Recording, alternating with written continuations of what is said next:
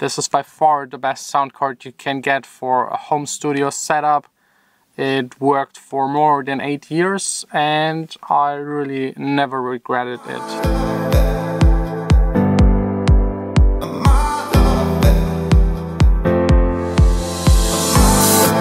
Hey guys, welcome to my studio. It's now already past 12. I had a doctor's appointment this morning.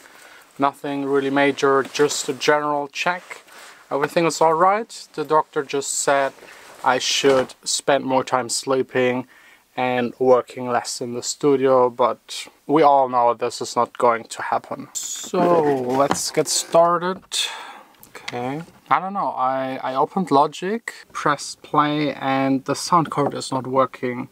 Usually it immediately turns on, this is bus powered, it's connected to the screen and the screen a Thunderbolt to my MacBook. I really don't know, I of course will first of all check all of the connections because there are a lot of them. So first of all the sound card to the Firewire 400 connection and the Firewire 400 to Firewire 800 adapter connection is also all good. Then the Firewire to Thunderbolt connection to the display it's it's okay. And of course also the one to the MacBook.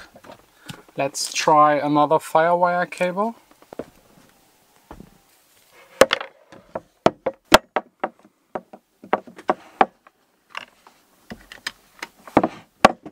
I also don't think it has anything to do with the software. I can't even update it if it's not turning on and there's no bus power external power connection on the back of the sound card. So yeah. I think that's it. I think it's time to say goodbye to my duet sound card. It's a really really good sound card from Apogee. I think I bought it more than eight years ago and it still worked yesterday. It's it's a really good sound card. It has two inputs, so you can connect a mic, you can connect a guitar, you can um, record both at the same time. You have an output to your speakers and also the 48 volt of phantom power and the headphone jack. So that's really all you need for the perfect home recording or mobile recording studio. With this sound card I've actually produced all of the tracks I've ever released and it's also the sound card that I've recorded the vocals for my tracks with. I made all of the vocal things for my All About track on this sound card. So it's really sad that it doesn't work anymore. I'm not sure if I can get it repaired. I will try to get in contact with Apogee and see if they can do anything about it. But I think it's just time to get a new one. Firewire 400 is anyways really dated. Yeah? Yeah. Okay, Busan. Ciao. Gordon just called. He's coming by. We're having lunch.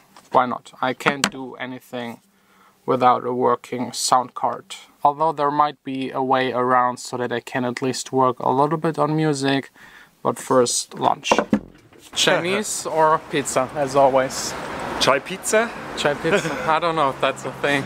I don't know why, but Gordon wants to sit outside. Probably just because he wants to smoke. Yeah, sort of. The best drink. Ever. It's, yeah. Beer without alcohol. Cheers. It's just too cold to sit outside, so switching location.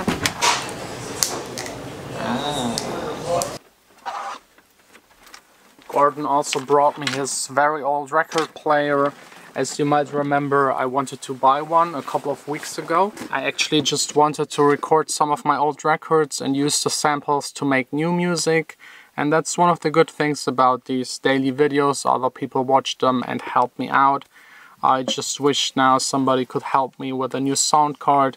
Without it, I can't even record the samples and not really work at all. There's only one option I have and it's it's not really a pretty solution.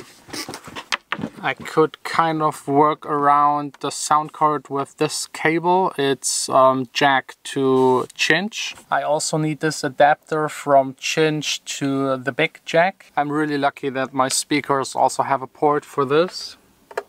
And now I only have to check if the other one is reaching to the other speaker. Yeah, it kind of works. Now I have the jack here and have to go directly into the laptop.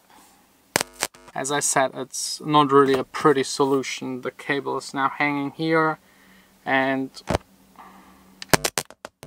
let's see if it works. It does work, but using the internal sound card of a MacBook is not really the best solution. It comes with huge drawbacks. So some of you have been asking why to use a sound card and when to get one. And yes, of course, you can just plug in the speakers directly into your computer, but you will of course have a lot of latency. So whenever you play MIDI piano notes in, there will be a delay. So you will have to quantize a lot It can be really frustrating and annoying when you try to write a song and have that much of delay. Also, of course, you can't record the guitar or vocals. It's impossible with that amount of delay and you don't even have an input into your computer. And even if you have one, the quality is way worse than just having something like this. I've checked out a couple of sound card brands and I still think the one from Apogee are the best ones. They're really compact. I love that you have this big knob where you can change the volume, the headphone jack on the front. You can just leave it on your desk. It is bus powered. You can take it with you and just record in other places. It's really all I need, very compact so let's see, I'm pretty sure there's a newer version of this available. So this right here is the updated version. It's now using USB. It costs 600 bucks, which isn't really that much. It has the same audio quality. It's using the same software. You can now even use it with an iPad and you have this new nice OLED display and I think some touch controls.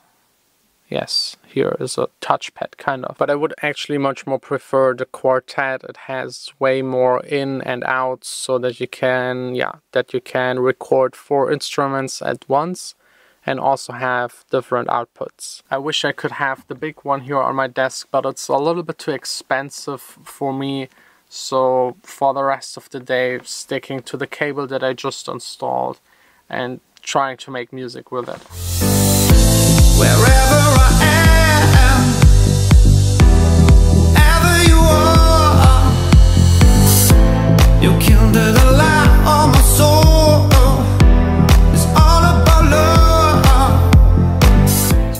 was a bit frustrating without a sound card. It doesn't really make that much fun. Everything is a lot slower and the cable that I'm using right now is making some weird humming noise doing precise mixing with it is almost impossible. Playing the keys doesn't really work and recording also not. So I really need to figure out this sound card problem as soon as possible.